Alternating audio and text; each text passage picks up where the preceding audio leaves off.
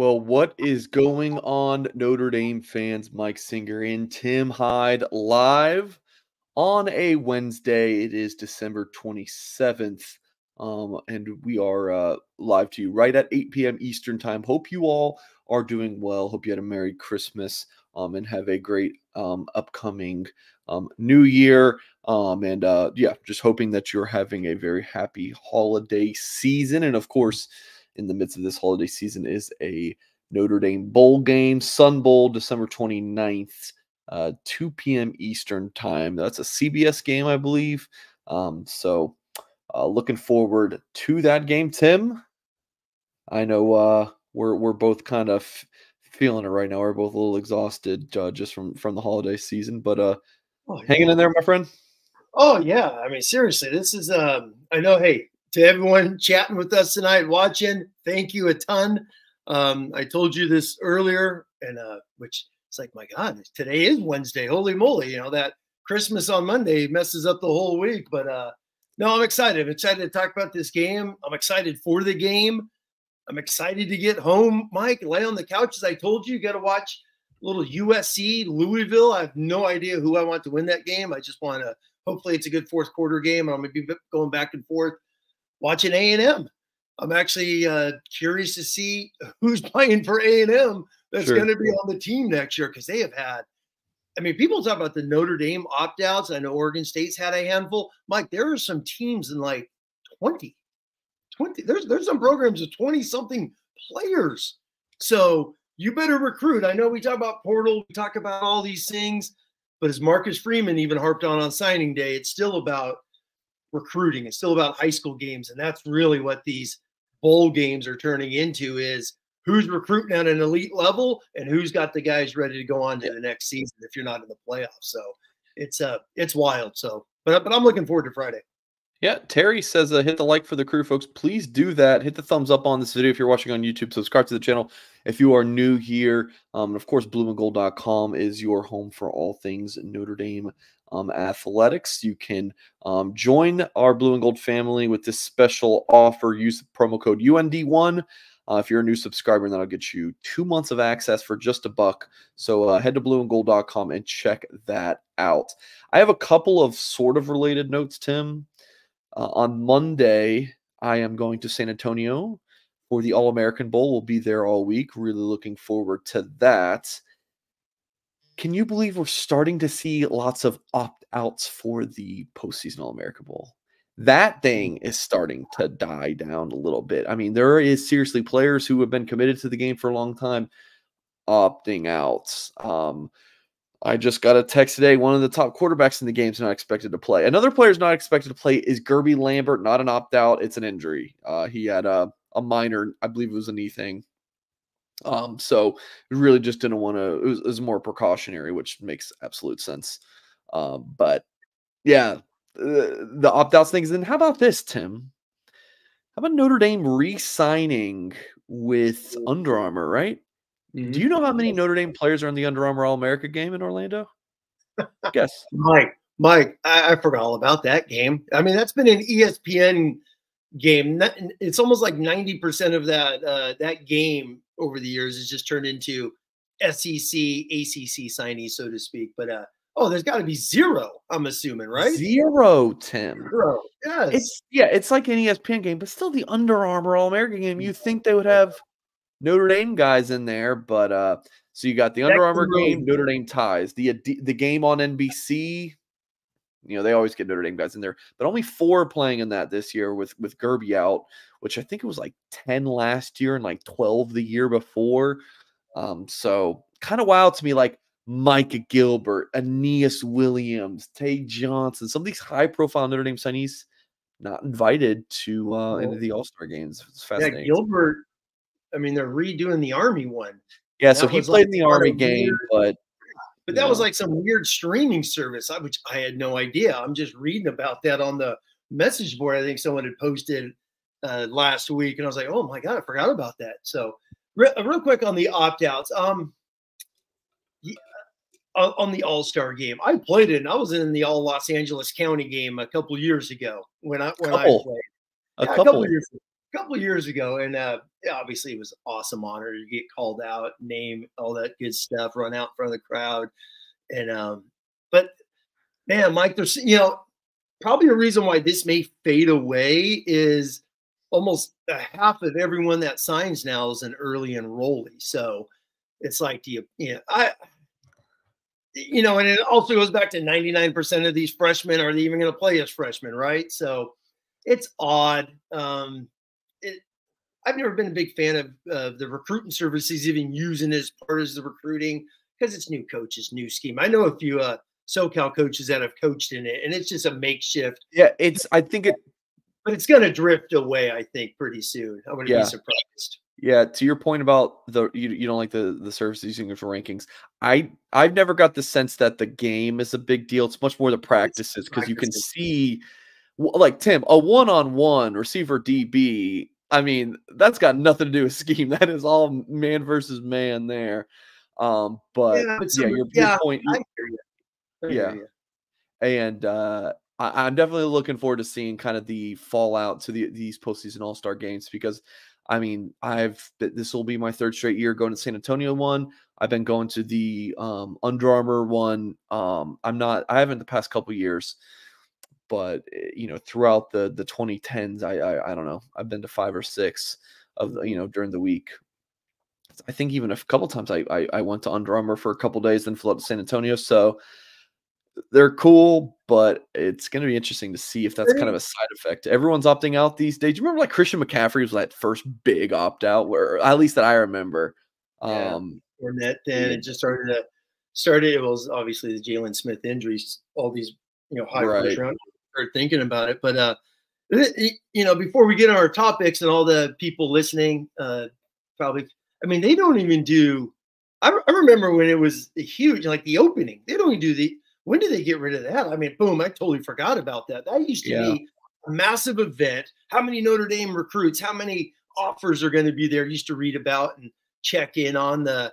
It's funny, Mike. I've been down in the basement the last couple days cleaning out uh, my football office and got the whole stack of blue and golds. And I came across one of the uh, the the one from 2008. There's like 15 Notre Dame guys on the cover of the of the blue and gold illustrated back from the army day back in the heyday so yeah it stinks how some of these have drifted away but a lot of the competitions have drifted away as well it's like all there is now is the elite 11 because yeah. you don't think about you know nothing you know everyone's got their private seven on seven teams and yeah all these travel teams that's what it's morphed into as the opening and these other big events have, have just fallen away yeah the opening went away I think post COVID for whatever reason that just didn't start up. There's still the Elite Eleven camps. Like, I mean, yeah. I went to my first Rivals camp when I was 19 years old. I was basically the recruits age when I started at Rivals, and that was a huge deal. That's kind of faded away. There, there's a saturation with all of these kind of off-season deals, but also. I think it's just kind of lost its luster. Um, you don't need all the exposure anymore from those camps because you know, you, you're just it's so much easier to pop off. A side note before we dive into today's show, Tim. Uh, Steven said, Mike, let me know if you're free to hang out um, at the Esquire Tavern. Um, so when I uh, I got invited by the Notre Dame Club of San Antonio when I was there last year, me and a few other Notre Dame reporters, which was really cool. And a side note, you know, I've been living in Atlanta for a few years, covering Notre Dame football recruiting. Notre Dame Club of Atlanta, what the hell are you doing? Well, I mean, what are you doing? We're, I've emailed them twice because I'm on their email list and they had another Notre Dame reporter, you know, do a Zoom call with them. I'm thinking to myself, I'm I'm down the street. What the hell are you doing? So Notre Dame Club of Atlanta. What are you doing? All right. Anyways, um, we did a video, Tim, that popped off on Friday. Got like twenty thousand views, which is not bad for us, Mister Hyde. We'll take that. Especially that was like December. Yeah, especially the end of December, you know, yes. It was Mike Denbrock, yeah. um, the news breaking that he's becoming Notre Dame's offensive coordinator. And then the news became official, uh, what, one o'clock or so Eastern time. Notre Dame tweeted it out. Welcome back to Notre Dame, Coach Denbrock. And there is that old gray hair factor that you love to see. And uh, part of Freeman's quote on Denbrock was Mike is an elite coach across the board. He is a great leader, recruiter, and developer. But what I love most is his competitive spirit. Some that competitive spirit's uh, something that Freeman loves to talk about. So I'm sure, Tim, as you've been in the basement for a couple days, you know, just reading, you know, blue and gold. You probably read a decade's worth of blue and gold illustrated magazines and, you know, watched film from the some 2005 game or, you know, something, whatever you do, Tim. So as you've been able to reflect some on this Denbrock hire, what are you thinking right now?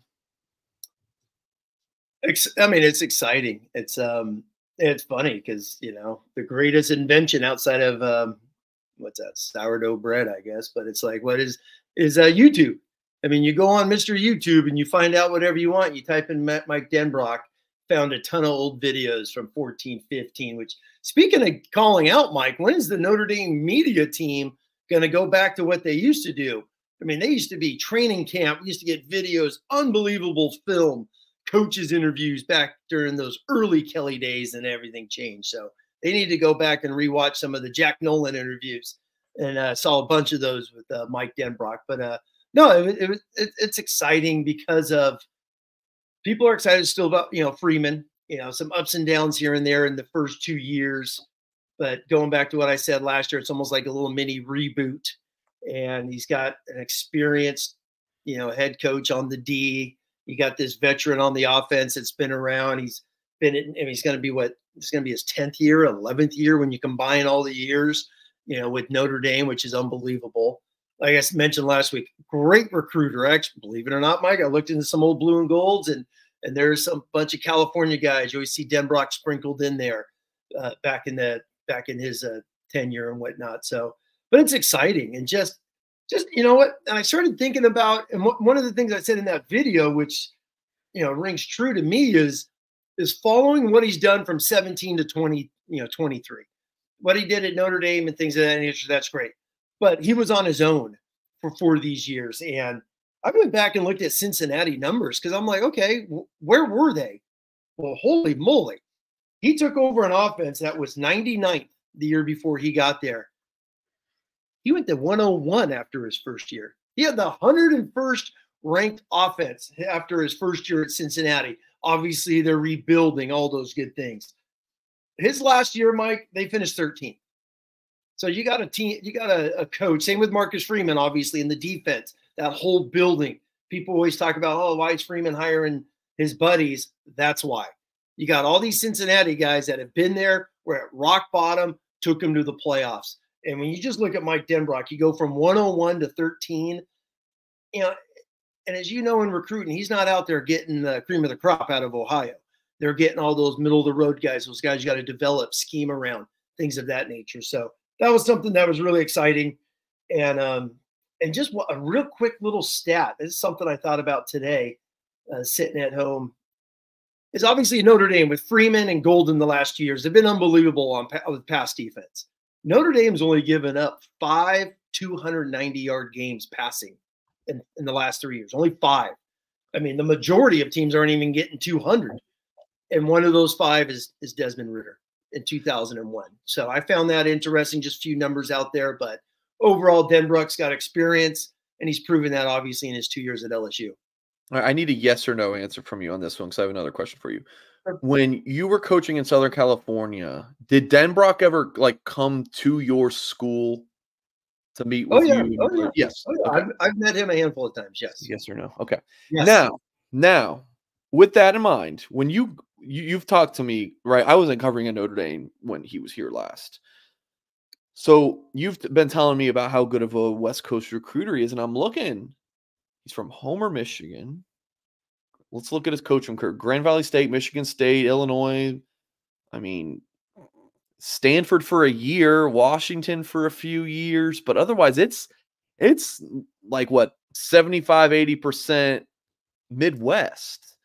Um curious like thoughts on why he's had so much success as a West Coast recruiter. Maybe that time with Washington and the year in Stanford, you know, he really built some strong connections out there, but it just seems interesting that you know that he's connected so well, you know, recruiting out there. No, exa- exactly. I mean, same thing with you know another great one is guys will know is obviously Brian Polian. The same thing. Polian, you know, Midwestern guy, but he's for whatever reason a West Coast Hawaii guy. And Denbrock just you know sometimes that's just who you are in recruiting, you know. And he did that a lot in his first stint with Willingham, and then the early Kelly years, he was he was the California guy. And uh, we always laugh about Fresno, obviously on the board because Notre Dame struck out a ton uh, with Fresno guys, but Denbrock's the one that was in there building those relationships. But uh, and the same thing all throughout Southern California. It's number one, he's very personable. He's easy to get along with, easy to talk with. There's some coaches, hey, who do you got? Give you a high five and leave. They got 16 other trips to do. Denbrock will literally sit down and talk football with you for an hour because I don't have to go there till there, and he'll sit around and chat. I think that's just his personality uh, in recruiting in general. The few times I've been around him, but uh, no, it's a great question, Mike, because he's from the middle of nowhere, Michigan. He's got all these other stops, and who would have thought some, you know, assistant at Grand Valley State has connections all throughout California. But I think that's just him as a person, as a type of coach he is, okay. and the communicator he is is outstanding. He's had great success. Yeah, yeah. Good stuff. We're going to hear from our sponsors, the Rogue Shop, the husband and wife outfit, Mr. Rogue, um, and his wife, Shar, are craft cannabis farmers who specialize in small batch, sustainable plant medicine, a true holistic type of small business. That that opened there, that was all by memory. Your boy's been reading this ad for a while, folks.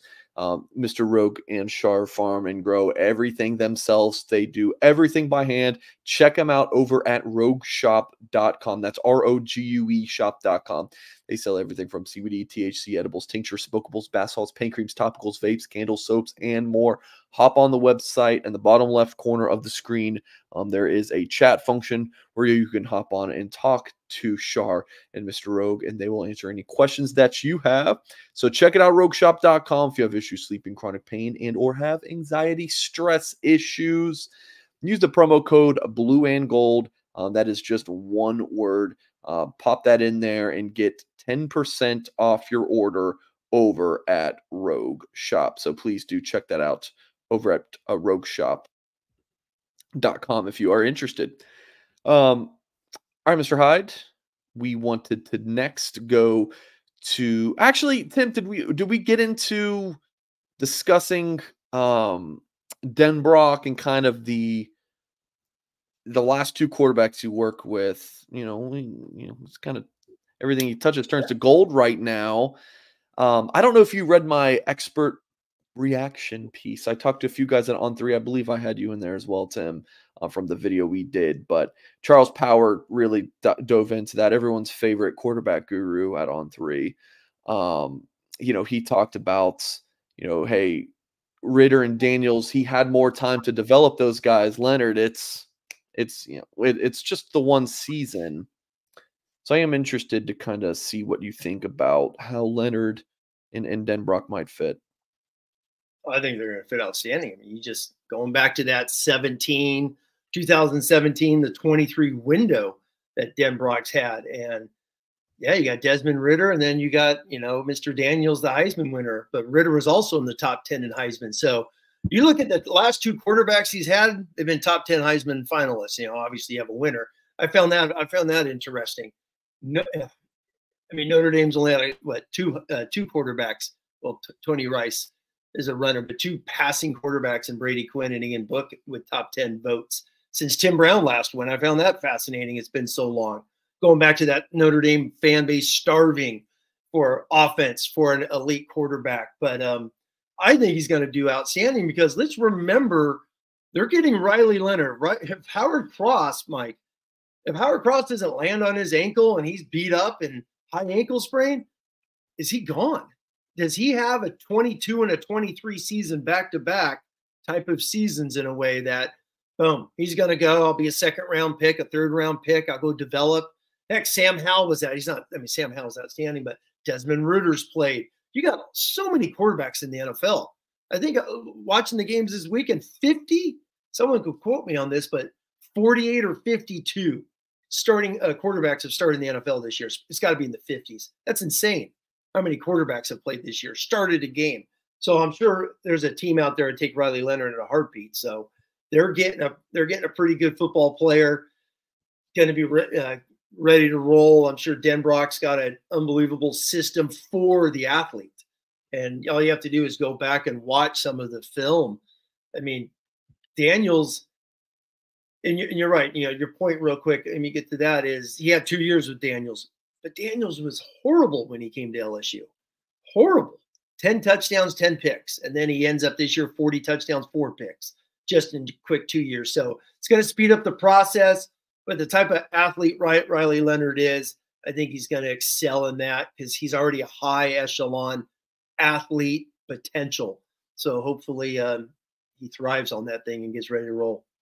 John mentions uh, Manti. Yeah. So talking about Heisman winner or, or Heisman finalists on offense. Yeah. Yeah, quarterback. Yeah, quarterback. Yeah, but uh, yeah, Manti, uh, of course, over on defense did that a, a, little over a decade ago. Forgot to pop this up. Uh, Chef Terry Lee Thomas Senior says, "Hey guys, I believe CJ will start against Texas A&M, and unfortunately, Angeli will transfer." Um, I've I don't know. We'll see if you go one for two there. I don't think you're going to get both of those things correct. We'll see if you go one for two. Uh, but uh, Mr. Chef Terry Lee Thomas Senior, that name is that mouthful. I really appreciate your $10 super chat, my friend. Uh, hope you are well. Uh, so let's get into the Sun Bowl depth chart for Notre Dame. This team's going to look a lot, hell of a lot different than, um, you know, the team that we saw against Stanford. Quarterback, we got uh, Steve Angeli, uh, backed up by Kenny Minchey. No CJ Carr in the game, folks. He's practicing with the team due to some weird NCAA rule that I cannot believe exists. Um, but he is only allowed to practice and not play in the game. Uh, running back, you got Jeremiyah Love and Jadarian Price at the top, uh, probably in that order as well. And then uh, J- Gi'Bran Payne and uh, Devyn Ford will probably see a little bit as well. Starting receivers, uh, you got Jayden Thomas, uh, Jaden Greathouse. There's your wide guys. And then uh, Jordan Faison in the slots. We'll also see Deion Colzie, Matt Salerno, and KK Smith. There's your six healthy wide receivers in the game. Really good to see KK Smith back and Deion Colzie. Now, um, the bowl game does not count towards your you know, ability to redshirt. So Colzie, I think, has played in four games. So he can still play in this game and keep his redshirt, which is great. Three healthy tight ends in the game Eli Raridon, Cooper Flanagan, and Davis Sherwood. Really looking forward to seeing what Eli Raridon can do. And then quickly, Tim, um, the offensive line, no real surprises here from left to right. Charles Jagusah, Pat Coogan, Ashton Craig, Billy Schrauth. And uh, it does look like Tosh Baker is going to start at right tackle over Aamil Wagner. So, any surprises here on the offensive side of the ball? Any takeaways on looking at this, Tim? Uh, no, I mean, there's no surprises. It's it's a it's a good it's a good group of running backs. That's, uh, I mean, Estime's obviously had a heck of a year, All American, second team consensus All American. But we all love some of those running backs, and that's what's cool about you know a game like this. I guess the way the system is nowadays, where it's you know 15 practices and you get your spring game, which is the bowl game now. But it's also like we keep mentioning the how how you recruit because yeah, I mean, let's be honest, this is a a kickoff for 2024.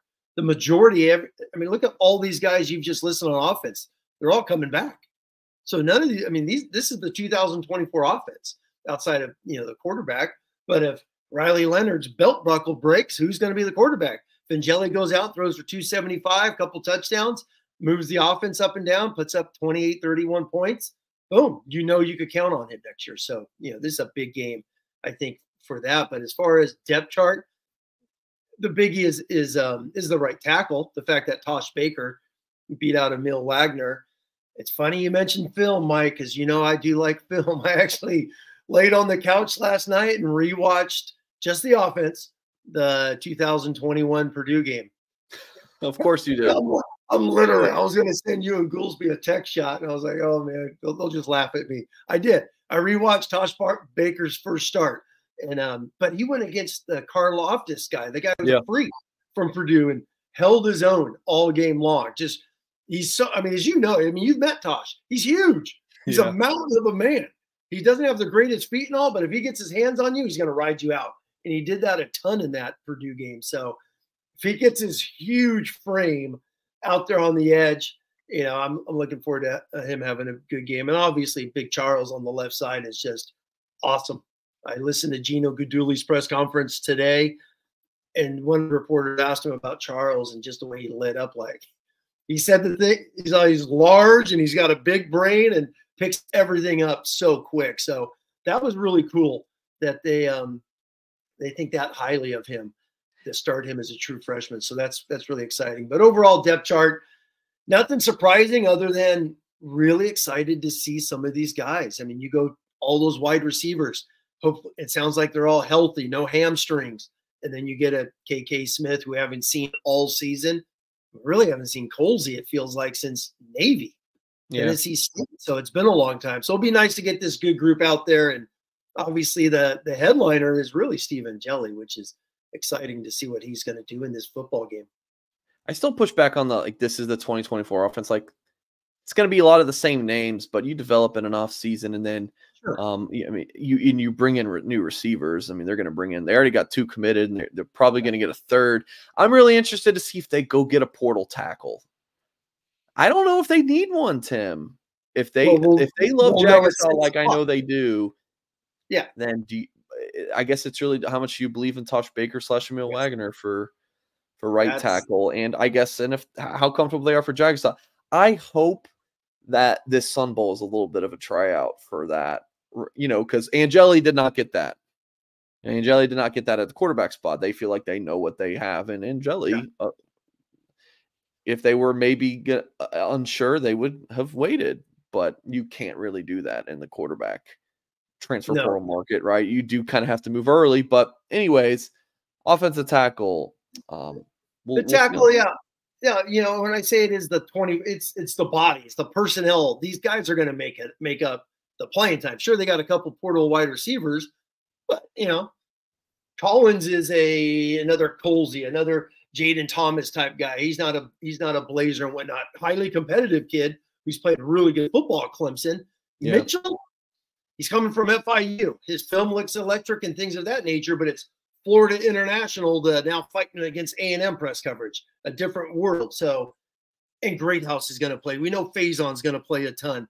You know, obviously uh, KK Smith, who they're raving about, the new freshman coming in. In the past, have never been. I mean, the freshmen had to play this year because they had to play. There's no other wide receivers, so I'm sure one or two of this group is going to have to play again next year because of depth chart. But yeah. the offensive line's the most exciting thing, Mike, because you're right. If Baker goes out there and, and Charles has a good game on the left side, you're set because the interior is, is, ready to roll. Rocco Very comes good. back, Adam, and gives them more depth. So the interior is set. Craig is outstanding football player. You know, Pat Coogan has started every single game this year. So, and then obviously you got Billy Schrauth going into his second straight start, and he had a heck of a game against uh, Stanford at the end of the season. So this O line can solidify itself moving into spring, and that's what's nice.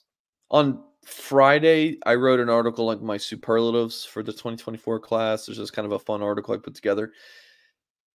For the 2022 class, because I went back and, and read that one, that superlatives article, I, I put Ashton Craig as my hidden gem because six months before he signed with Notre Dame, he had like just a couple Power Five offers. Then he kind of blows up in the summer going into senior season and Ashton Craig. We saw him at the All American Bowl, kind of struggled, and he has really come along. Ashton Craig, good looking offensive lineman. I think he's going to be uh, a three year starter, you know, two, three year starter for Notre Dame. He's a, yeah. he's an impressive player. We're going to go to the defensive side of the ball, Tim. I don't feel like this one is there's not a ton to break down here, but Jordan Botelho, uh, we're going to see Boubacar Traore talk about the, the whole uh, red shirt deal he can play in this game. He's played four games, but he can play in this one. Not burn a redshirt Junior Tuihalamaka Viper. You have three technique defensive tackle. You'll have Mills, Onye, Hinish, nose tackle, Cross, Rubio, as well as Hinish. So, I mean, really not any changes here. Uh, strong side end, same stuff. JJB, Burnham, Traore. I mean, eh, Will linebacker Kiser, Mike linebacker Bertrand. No Liufau in this game. We'll see. We'll see more Jaylen Sneed, and then corner. you know, no Cam Hart. We'll see more Jaden Mickey and Christian Gray as expected. And then uh, Notre Dame will also have Ben Morrison, Clarence Lewis, and Chance Tucker. And then safety, DJ Brown, Xavier Watson, no Ramon Henderson. But yeah, nothing. This all looked right. No, I mean, just, yeah, I mean, a couple, obviously Harper opting out, but Clarence Lewis is a vet. I mean, Clarence Lewis was a starting freshman corner against Alabama. So I think him playing in the Sun Bowl, he'll he'll rise up and you know playing. He's guy started tons of games, so he's a you know piece of cake to move in there at nickel. Mickey had an unbelievable end of the season when he got in there uh, in games and highly competitive football player. Christian Gray, we all think is the next Notre Dame All American to replace you know Morrison when he leaves after a year. Or so expecting him. And then going back to the press conference, I was listening to Al Golden's in. I kind of like how he, he talked about Josh Burnham. Sounds like they're going to keep, which I thought going all the way back to the Navy game and then uh, the Tennessee game, he played with his hand in the ground all year long. So mm-hmm. they're going to make him a strong side defensive end, which I like. They just think he's so big, he's going to just keep growing. So I found that exciting. And then in their base, they're actually going to have Kiser play the rover and then Sneed will be the will, and then when they go to nickel, Kiser and Sneed will rotate it the will. I found that interesting. So, and then just lastly on D is um, I hope, hope we get to see Bowen a little bit, rotate a little bit depending on how the game goes. JD's obviously the ultimate veteran play caller, all those things. So hopefully Bowen gets in there, gets his feet wet, and get some of that experience before they head into the winter conditioning when uh, you know Asa from St. John Bosco shows yeah. up, and that's going to be a war at Mike Backer, the competition. Tim, how I'm just trying to think here. How many of these guys have no eligibility left and are playing in this game? It's not many. Man, just like last year, year before, this whole thing, like nowadays, if you're not playing in a, a, big important bowl game, which is not really many of those anymore. Maybe New Year's Six in the playoff games. That's about it. Like now, if you're not playing in one of those games and you don't have eligibility past the season, eh, just opt out. So DJ Brown, Brown, uh, Bertrand, Baptiste, well, Kiser is coming back. back. Uh, Baptiste. I mean, Ross and Mills coming back, which is huge. Yeah. So, yeah. and I think that's really it. So, shout out to those guys for for playing in the game. Yeah, Devyn Ford. Now he could Devyn come back. I believe he has a, year left. He has a COVID year. He can come back. Oh, can he? I don't know if I he will. yeah, exactly. I mean, I which man, but, that's going to be a topic for conversation down the road when these two freshmen come in here. There's going to be six running backs. So I just have a hard time seeing Devyn Ford stand. If he do for I, a one year, what are you what are you going to do, man? He's already got a Penn State. He came from Penn State, right? Devyn Ford, yeah, yeah. He's already got a Penn State degree. Once you know, I, I would have a hard time seeing him playing because I would guess Notre Dame would want to invest more in Kedren and Aneyas. I agree. But, I agree. but you know, he can't come back. He had a role. He was a special teams demon this year. He was all over the place on special teams. Um, so that was you know, but but you're right. There's not a lot of elder statesmen playing so, in this game, and kudos to the ones that are playing, and uh, especially Baptiste. Baptiste was just like I saw his press conference a week ago on campus, and it's like just another opportunity. Plays like everyone's got their own reasons. My reason is I want to play. Like I just want to just put more film out there, and I just thought that I was awesome. Love it because he was a backup for five years. He was a role player at Ohio State, so he's he just wants more film, and I I, I like that. Very stunned, real quick. I'm very stunned. JD's playing because he has an All Star game invite. He's had some concussions and whatnot, so, so that one surprised me but I am very excited. Obviously, he's playing. To me, those are the guys who truly love Notre Dame, man. Like, uh, who am I to say? But for yeah, me, and this is just my opinion, like that that's giving it your all to the program. So, like, shout out JD Bertrand. Maybe, maybe those are you know that was a my previous statement was you know kind of lame, but let me let me rephrase it if you're playing in this bowl game and you're someone like JD Bertrand, like shout out to you. Like you are 100% giving it your all to the program. I can't say that about the quarterback. Well, there's other. Uh, it, it just seems like you're right. It's, I mean, it's trickling down, like you said, to start to show the All Star games. These guys are just.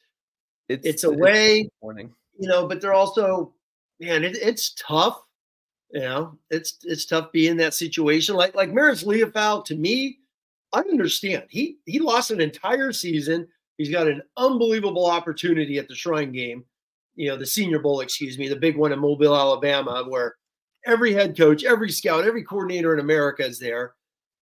And he's like, man, I just got to get healthy. I mean, he played the Ohio State game with the stinger. He should not have played, and he played in the game.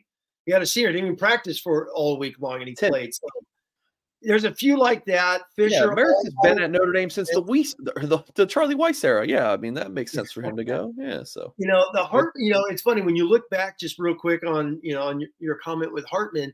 The Hartman one, I'm yeah, as I said, I'm glad he's not playing. I'd rather see Angeli and even if Minchey, I'd, I'd rather see that than Hartman. But Hartman not playing is is a little stupid because he's not I mean, he's not. I mean, what? What? I mean, okay, if you get injury, great, you're going to be a free agent anyway.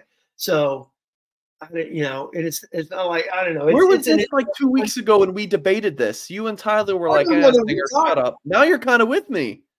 I'm not with you. I understand. I'm glad he's not. I am glad he's not playing. I am. Not, I am I'm glad, glad, he's not playing he's too. Not playing. I'm glad he's yeah. not playing. I would yeah. rather watch Angeli. Oh yeah, yeah, no, absolutely. Of course, I've wanted to watch Angeli more all season long, but my whole point was I kind of feel lied to. But we're not going to do it. We're not going to do it. We already did it. But Tim, I'm I'm glad you're kind of seeing the light on it because you weren't saying that last point before, looking at it from the Hartman lens and not the Notre Dame fan, the Notre Dame analyst lens. Look at it from like the oh. Hartman lens, like why no. aren't you playing it? But I was yeah. I was looking at it from the Notre Dame fan. Thank you. I know that's Thank why you were. Yeah. And that's why I told you I was like, yeah you guys are looking at it like this, like I'm, I'm kind of taking it as that. I think the fan, I think the fans are okay with him not playing and with Maris not playing. All Estime, I mean, Estime may be a fourth round pick. I mean, Kyren Williams opted out, and it's paying off for him. He got himself healthy, and you know, he's going to be a Pro Bowler in his second year, which is unbelievable this year. So it, it, it's just a weird dynamic, and even the New Year's Six, Mike. I mean, Florida State and Georgia's got 40 players between the two teams. 40 players not playing in this game, which just goes back to the NCAA calendar. It's the whole calendar needs it, to get changed, dude, and they got to figure out a way to change it. So much needs to be changed in college football. I mean, I, I think to get these big players to play in the games, the bowl games got to pay guys. Like some of these big name guys, like I, I wouldn't be surprised if you know next year, the year after, you you, you start hearing reports about oh, the Cotton Bowl has signed an NIL deal with so and so to play in the game, some big player, and they're going to market the heck out of him because he's going to be playing in that game. This is all stuff that's going to be coming down the pipeline, folks. It's it's very much a thing where the toothpaste has been out of the tube. There's no putting it back in. You just keep going, you know. Yeah. Um. So I, I, I'm kind of sad about it because you know I, I'm a college football purist, but uh, this is just kind of where we're at. Uh, Tim, let's hear from uh, Augie's locker room, which is your destination for unique, one of a kind Notre Dame items. Uh, you can really only find it at one place, and it is Augie's locker room, which has moved to a brand new location 1733 North Ironwood Drive in South Bend. It's just right down the street from the University of Notre Dame. Uh, so, whenever you're in town or, or if you are a local, just head over to Augie's locker room. They have a wide selection of Notre Dame Stadium pieces, jerseys, helmets, autographs, and one of a kind Rockne items. You can find exclusive Joe Montana signed items and famous sculptor Jerry McKenna's replicas of the bronze statues around the stadium. And Augie gets new stuff in all the time. If he doesn't have it in store, he's going to go find it for you, just like he found Mike Goolsby's old jersey um, from uh, a couple decades ago. Uh, and he did that in uh, just a few minutes uh, Augie's the guy. If you if you need the guy to go find you some Notre Dame memorabilia, give Augie a call 574-277-6363. Check out his website, Augie's Locker Room.com. Folks, if you're just joining us, please hit the thumbs up on the video. Subscribe to our channel for more content. If you are new, Tim, you want to add something? Yeah, I just want to say uh, Andrew Dillon was just chatting about Bettis and it uh, played in the bowl game. Yeah, obviously that was 30 years ago, but last year for crying out loud, uh, you had the Heisman Trophy winner playing. The number one pick in the in the NFL draft played in his game. You know, right? You know, Young, the quarterback at Alabama, played. Will Anderson, who went what number three or four to the Houston Texans, played. So you had Alabama's top two, you know, top five picks played in the game. So yeah, it is. Uh, it's an interesting thing, but it also shows the number one pick in the NFL draft played in his bowl game. So Steve Angeli getting his first start in a Notre Dame uniform. Um, kind of getting it by default, as Tim Hyde might say. Kind of the last man standing here um, with all the people. Uh, so many quarterbacks have transferred out. I would really wish we had the late great Lou Somogyi right now to tell us all about the math and the history of Notre Dame quarterbacks transferring out because it has been a lot here in, in the past couple years. But um, the handsome man, Steve Angeli uh, from Westfield, New Jersey, Bergen Catholic High School, uh, getting yeah, getting again getting his first start just a little bit over six two, nearly six two and a half, 211 pounds. He's look good in mop up duty, Tim. I'm going to recuse myself from uh, giving my thoughts on what I believe he, how he's going to play because I just don't know Tim, and I am just so rooting for this kid hardcore that uh, I, I, I really can't give any thorough or uh, you know unbiased analysis. So, uh, what are you expecting to see from Angeli in this game? I'm uh, man, I'm I'm with you, man. I hope I hope he hosting the the Sun Bowl, you know, MVP. I mean, seriously, I hope he is. I hope he goes out there and and kicks butt uh, in, in this game. Um, it's the two offensive tackles are the key. Those two guys are the key. So that's the key to this entire football game. Uh, even 2024 for crying out loud. Uh, said it last week, man. Pe- people aren't going to realize how good Notre Dame's had it with with Alt and Fisher the last two years. So it's going to be a huge uh, downgrade next year. But no, I'm I'm excited. I I'm excited for him because he does. There are things he does good. I think maybe because it's a one game, you know, I don't want to say trial, but it's a one game thing for him to prepare, get ready for next year.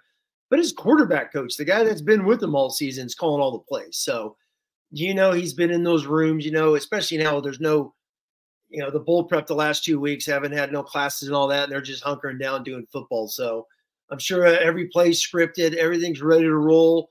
There's not going to be nothing that Gino calls that Angeli hasn't repped and is not comfortable with and ready to roll.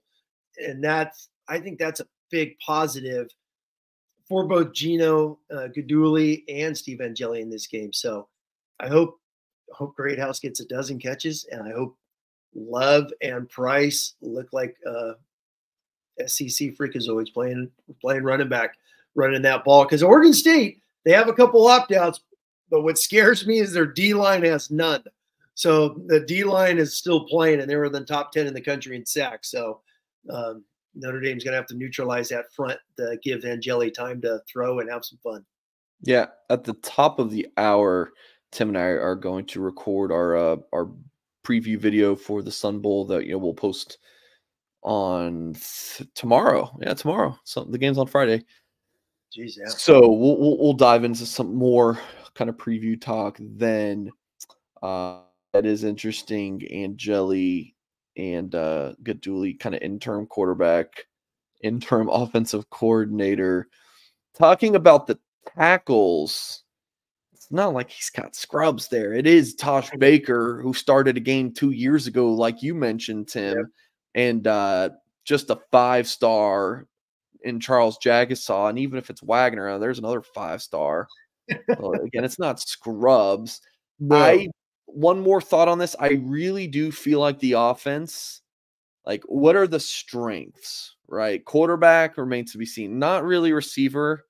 It it wasn't when they had all of their guys. It's not going to no. be when they don't have most of them. Tight end, you know, it's a it's a plus, but really, it's the interior offensive line and the running backs. That's like the known strength. So I wouldn't be surprised if it's run, run, run, play action. We're going to have a different play caller. So whether or not Guidugli and Angeli have futures at Notre Dame and off, as offensive coordinator and quarterback, respectively, this is a really good opportunity for both of them to like a resume builder, you know, whether it's for a different school um, or, you know, for Notre Dame down the line, you know, if, uh, if Denbrock's a one year thing at Notre Dame and, you know, he wants to retire or something and he, I, and Guidugli did a really good job filling in. We were like how he did the Sun Bowl, and you know maybe they give Angeli a, a, a, real shot after Leonard goes. You know, we'll see.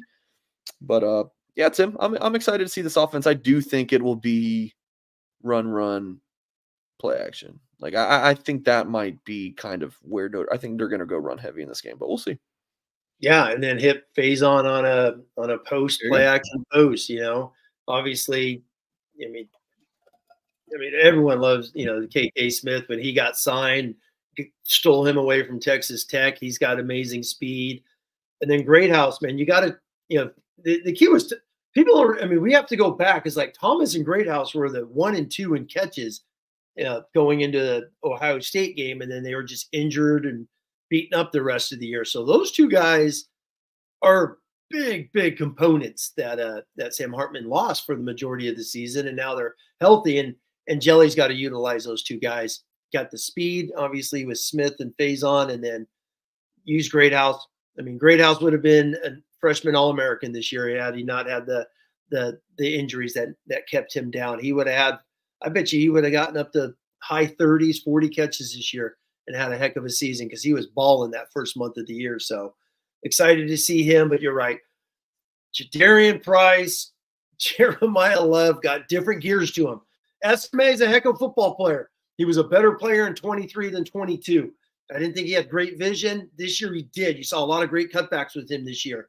It's really his second year in the scheme and running those balls. But um, man, those two other guys, Mike, I mean, I mean, they and they they could go the distance every single time they touch it. So it's going to be exciting to see them, and um, let's go have some fun on Friday and, and see what Steve Angeli does. I'm hoping, my, my, fingers crossed, he's the MVP, and that would be awesome. That'd be awesome for him, and then the future going into next season, it'd just be awesome. Are you a fan of the uh, musical Hamilton? Yeah, it's a good one. Love it. I read the I've book. got it. I read the book. Who likes sitting around reading 750 pages? But it was a great book. You read the book? Oh yeah, I've read that. I'm, I'm, a reader, Mike. There's a few things I do good in this world. One of them, I enjoy reading. So my wife got me that 750 page Hamilton book uh, because I, I, you know, when that when the the film hit Disney Plus in, in 20 summer 2020, I, you know, memorized half of it.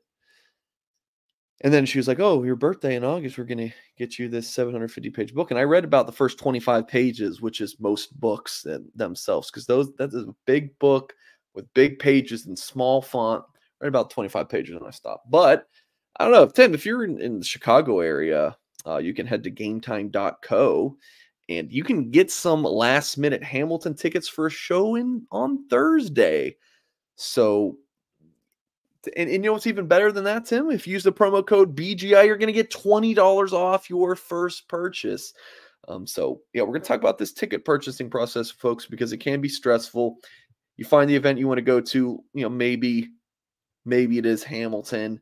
Uh, you get the seats you want to go through that whole ticket purchasing process. It can be stressful, but not with game time, especially if you're finding tickets at the last minute. So head to gametime.co, not .com, it's gametime.co, a fast and easy way to buy tickets for sports, music, comedy, and theater near you with killer last minute ticket deals so you can get relaxed and hyped for that fun that you are going to have. Use the promo code BGI. You'll get $20 off your first purchase. Again, BGI uh, for $20 off your first purchase. They'll guarantee that you're going to get the lowest price or they will refund you 100%, 110%. You don't need to plan in months in advance since they have deals right up to game time. Snag the tickets without the stress with game time. Terms apply. Download game time today. Last minute tickets, lowest price guaranteed. Okay, Tim. We were texting about this. I think me, you, and Goolsby, the Echoes Awards show. This was this was yeah. 11 days ago now that this was put out by Notre Dame. The, the banquet used to be more of a I feel like a a public not, not public, but it used to be publicized a little bit more. I feel like now it's just yeah. I think media used to be able to go to it. Oh, it was more of a recruiting. This was yeah. This was I mean all the old timers in there with me know. I mean this used to be obviously early signing day changed it, but this was the thing.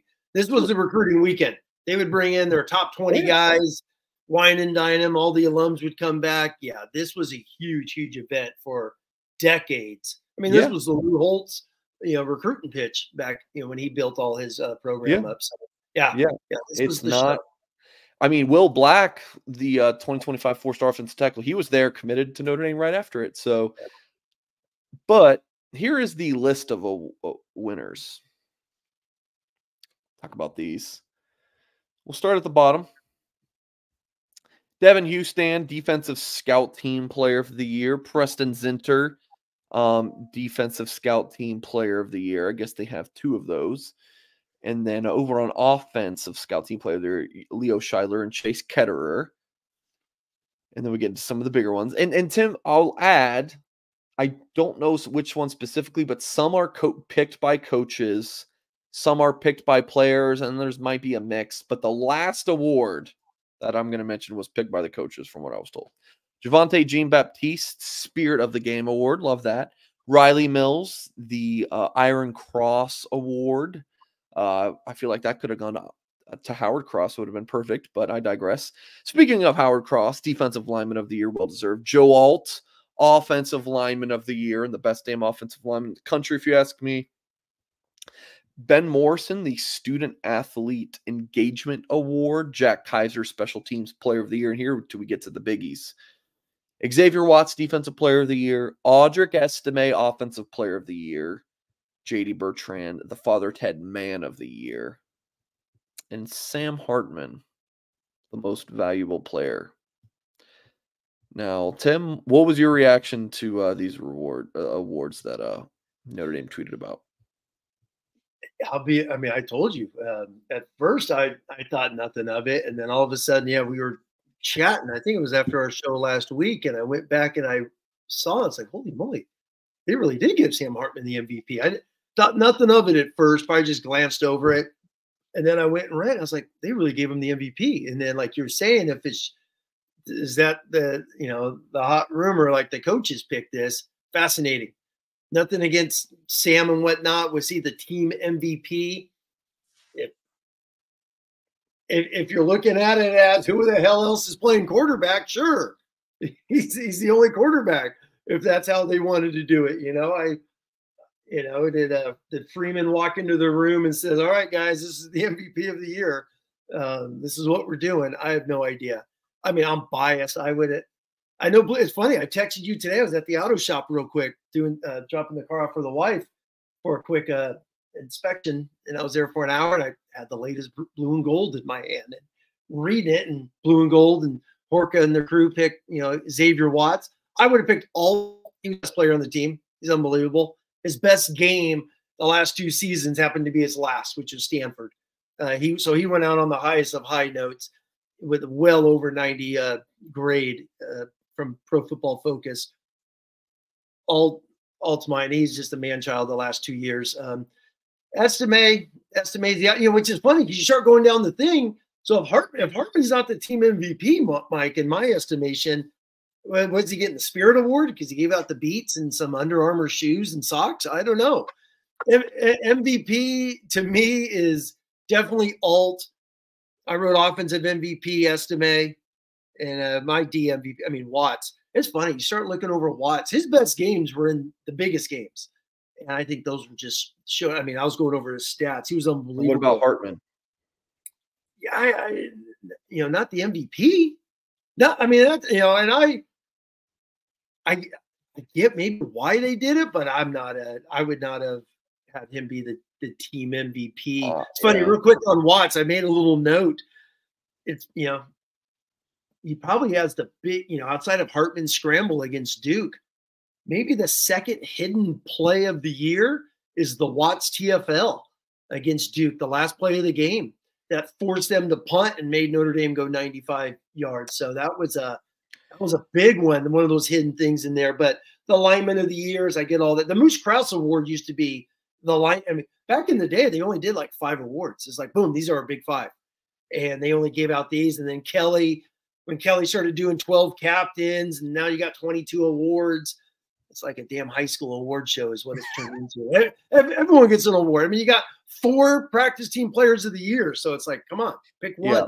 for crying Just- out loud. Um, just to kind of reiterate my point on this because i'm sure people are just dying to know it's i have no issues with sam hartman it's just this has been my point about the the the praise that I just have not understood. Like MVP.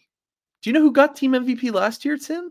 Let me let me see if I can get the correct staff to look that up because based on this, I feel like Pyne should have oh, got MVP Michael, last year. I mean, yeah, I mean Mayer was it last year, so um, there you go. Yeah, yeah, Michael Mayer. But um, yeah, I mean nothing against. Uh, it's funny because I've actually gone back because that's what Tim Hyde does is go back and start charting and looking at things. I I want to say I took like seven. I did the Mike Fingers. Looked at seven data points for quarterbacks: yards attempt, touchdowns, yards, all these things, all these metrics, and used the QBR rating, which goes all the way back to Brady Quinn. Um, and then before that, I just used pass efficiency. But I, I went all the way back to Rick Mirer. I went from 1990 to 2023. Hartman lands number 13 in the top quarterback seasons between 90 and 2023. So that's a big, big, you know, season out there, big, you know, many years. So he ended up being number 13 for the best individual season. Brady Quinn's 05 is number one by a mile. Clausen's 09 is two. And Quinn's 06 was number three um, as far as the highest ranked seasons, uh, you know, that are out there. And then Notre Dame only had a couple years where they didn't even have quarterbacks that qualified. So, hmm. so Hartman's middle the, you know, he's in the upper echelon, which is funny. That's going back to Notre Dame Nation starving for a Brady Quinn, a Clausen, an elite quarterback that could just put a team on him and go do good things. They're starving. So for Hartman to be in the upper echelon of one single season tells you that Notre Dame still has to has to get that quarterback yeah. issue fixed, so to speak. So yeah, just, you were right. Mayer was the um, MVP and I think and offensive player of the year. Bertrand got defensive player of the year. Patterson got uh, offensive lineman of the year. Isaiah Foskey, defensive lineman of the year. Um, so there you go. Yeah, I mean, I mean, people could agree with that. I, but but you know, Mike, I mean, if you took a poll of a thousand Notre Dame fans, there, the the majority would be like, really, Sam Hartman? Right. I mean, right? I just I, I, I bet single digits. I bet you at single digits would say, yeah, that's a good pick. I just don't think he is deserving of that level of praise, which is what I've been, you know, kind of harping on really ever since the pit game. No, no, senior game, senior senior game. Um, I was like, I, yeah, I just didn't, I didn't really get that. Ever since then, I'm kind of like, I just don't really understand why uh he's getting kind of this all the praise and adoration as if he took this team to the playoff and it's uh maybe a 10 win team and he's not even playing the bowl game. Anyways, I hear you. No, I hear you. Anyway, Tim, it's like going to end on something fun. Well, I mean, hey, I'll I'll end some. I mean, I mean, we really didn't get into this a week ago. Let's end po- a massive positive. Congrats to you know Watts and Alt, unanimous All Americans, which is an unbelievable honor. Uh, you don't give consensus and all that to the second team, but you got Cross and Estime were consensus second teamers yeah. on nearly every single second team. So, I mean, we got into this a little bit. I, I don't know if the final one had come out yet, but um, so you got four guys getting recognized, but all Xavier Watts are going to be on there at the big unanimous uh, wall they have there in the stadium. Uh, I don't know if it's stadium or in the, the monogram room for for life. So it's pretty awesome. All right. Well, we are going to sign it off there. Tim and I are going to record our uh, video that we'll post tomorrow around noon Eastern time. Uh, uh, Tim will give us three keys to the Sun Bowl uh, and offer a score prediction for the contest as only Tim Hyde can. So make sure you tune in for that. It will be a, a pre recorded video that will go live on our YouTube channel about 12 p.m. Eastern time. So check that out again, folks. Go to blueandgold.com for more Notre Dame football coverage. If you're just an Irish football junkie and you just want more info, go over to the website and check that out. Tim and I will be live right after the game on this YouTube channel uh, to break things down and give our thoughts on the contest. So uh, you can join us on Friday as well. And of course, hit the thumbs up on this video. Subscribe to our channel if you are new here. That is going to do it. I'm Mike Singer. He's Tim Hyde. Take care, everyone. Have a great night, and we will catch you guys next time.